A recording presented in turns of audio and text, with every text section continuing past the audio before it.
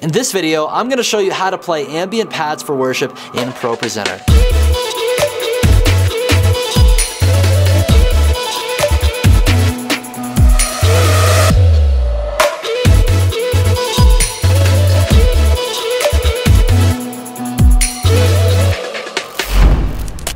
What's up YouTube? My name is Jake with churchfront.com, an online resource for innovative and creative church leaders. Make sure you subscribe to the channel and hit the notification bell so you can receive all of our latest content to help you grow yourself and grow your church. Worship pads are one of the best ways to fill in the sound of your worship band. And pads are extremely simple to integrate into your worship ministry because pads are just simple audio files that you can play back on almost any device. One of the best ways to play pads in worship is to use use ProPresenter presentation software. ProPresenter is super powerful. Not only can it play your slides, but it also can queue up the right audio at the right time. So in this video, I wanna give you a step-by-step -step guide on how to set up ambient worship pads in ProPresenter. So I'm gonna get behind my computer and I'll show you how to download and start running pads in ProPresenter. The first step is to go to your web browser and go to churchfrontpads.com.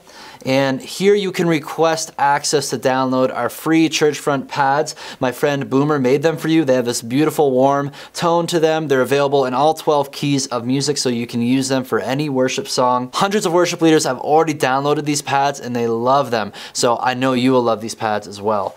So go to the bottom of the page, click the button, enter in your information,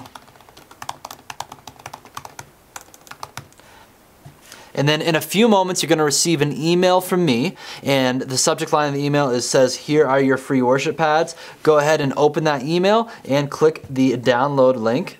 It's going to bring you to where the pads are hosted at dropbox.com. Click on the MP3 files folder. That's what I recommend for most people. You can use the WAV folder if you like containing the WAV audio files, but the MP3 files are going to save you space on your computer.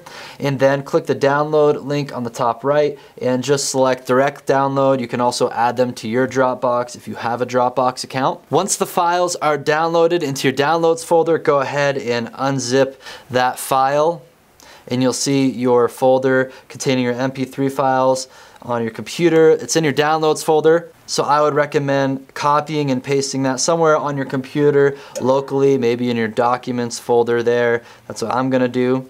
And now we can go into ProPresenter. When you get inside ProPresenter, you need to open up the audio player window that's gonna show up on the right side here. And you're going to create a new playlist. And let's call this playlist Churchfront Pads and then we're going to drag in our MP3 files to the playlist. So I'm going to select them all, drag them in there, and then I'm going to uh, select all of these pads, and I'm going to adjust the playback behavior. You can right click after you select them all and then go to playback behavior and go to set them to loop so you don't ever have to worry about a pad running out and stopping. It'll constantly just loop so long as it's as that pad is queued up and triggered. And now you can test out the pads. You can see they're good to go.